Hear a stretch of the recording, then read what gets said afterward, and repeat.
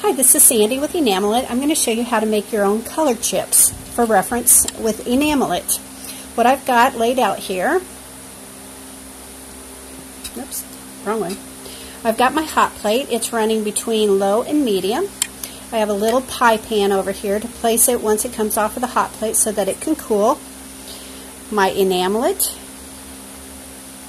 I've got our tools that come in our beginner kit, the Teflon sheet, a little lifter, my sifter, my holder, grate holder, and my pickup comb. And then I've got some samples here. So in our beginning kit, it comes with the standard primary colors, red, orange, yellow, green, blue, purple, black, white, and clear. And let's say um, I, I have the red. I ordered a red. Whenever you order a color from us, we automatically include one of these little metal chips we were doing them ourselves, and then we thought, you know what, it would be better for you to do it because it gives you a chance to work with the color and see how it reacts. And then you can um, also use them for sample colors or mixed colors. So in the kit, like I said, you get the primary colors, and maybe I don't want the red, and I don't want the, the bright orange, and I don't want the bright yellow. Maybe I want a red orange, or a yellow orange or something like that. Well, the colors are literally infinite because you can take the red and you can take the yellow and you can mix your own. And that's what I've done with this one here. And you can see I prefer to put them in these little condiment cups. That way I can mix it up. I also refer to what I've done. So I've put the red and the yellow together. I put two parts of red, one part of yellow to create my own custom color.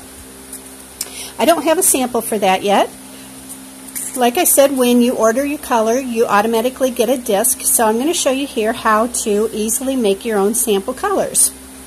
So I pick up my sifter, level off the top, and then I just go above my item and softly tap and give it a nice even coat. Now this I can recycle right back into the container, so anything left over I'll just dump right back into there. I'll lift it up with my little pick I'll put my Teflon sheet on. That protects my hot plate from getting Enamelit on it in case I have a project that I accidentally bump. And again, it's running at between low and medium. And we'll just watch it cure out here. Now you're going to get different results when you cure Enamelit. Full cure is 350 to 400 degrees for about 10 minutes. You, you can mix your colors and then cure it like what I'm doing here, or you can layer colors. And depending on how long you leave each layer will depend on the results that you get. So here it is curing out. I don't know if you can see it. Let me tilt the camera so you can see that it's become a liquid state.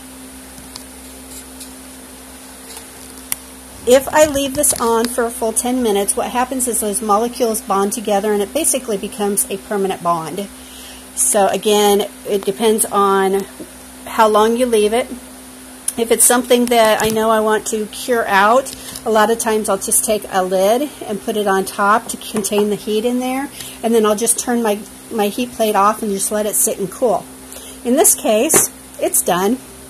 So I'm going to transfer it. You can either pick up the Teflon sheet, or if you are a little afraid of the heat, which it's not hot, you can use your spatula that comes with the kit. And I'm just putting it right over here. I could leave it on the Teflon sheet or just transfer it right over onto my, my cookie sheet, basically, just a place for it to cool. And there it is. Now what I do is I use a little glue dots, which is what this is.